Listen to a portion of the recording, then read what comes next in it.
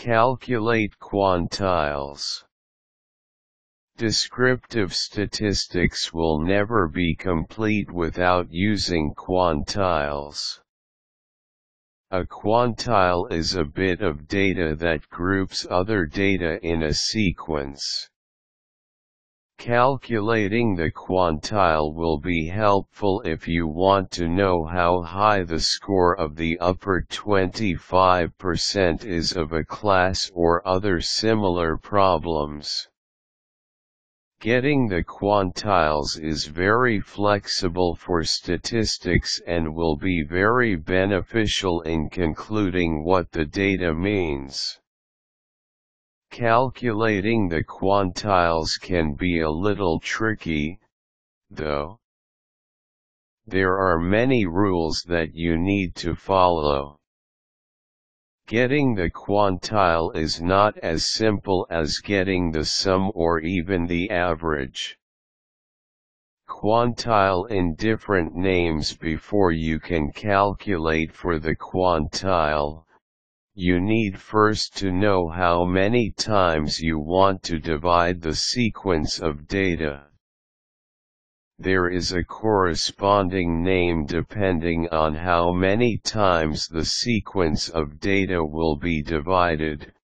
Median, for the two quantile terciles or tetiles, t, for three quantiles quartiles, q, for four quartiles quintiles, chu, for 5 quartiles sextiles, s, for 6 quartiles deciles, d, for 10 quantiles duodeciles, dd, for 12 quantiles vigintiles, v, for 20 quantiles percentiles, p, for 100 quantiles permilles, PR, for 1000 quantiles depending on what you need, choose the proper quantile type so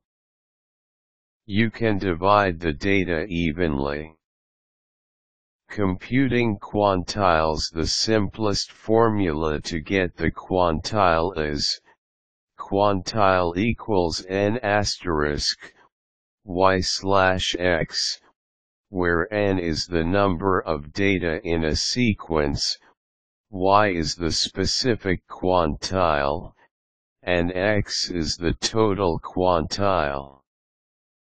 For instance, if you want to get the median of 1, 2, 3, 4, 5, and 6, you will use this formula, quantile equals 6 asterisk, 1 half, equals 3 6 because there are 6 data in the sequence, 1 because this is the first quantile in two quantiles, and 2 because the data will be divided in two quantiles. The answer here is 3, which means that the third number in the sequence is the point that separates the lower half and the upper half. In this sequence, that number is 3. You can say that the numbers before 3 and including 3, 1, 2, and 3, are the lower 50% of the sequence while the numbers after 3, 4, 5, 6, are the upper 50%. Try to calculate the quantile in a different number of parts, say in 4. Using the same sequence, the quartile will be found using the following figures. Quartile equals 6 asterisk 1 fourth. Notice that instead of 2, the formula is already using 4. That is because 4 is the total number of parts in a quartile. And so, the answer is 1.5. In this case, the answer is not an integer. Round the number off to the nearest integer. Therefore, 2. This computation means that the first 25% or quarter of the data includes number less than the second data. In the example, the second data, in ascending order, is 2. That means 25% of the data is made up of 1. Automatic quantile computation take advantage of today's technology and compute quantiles automatically.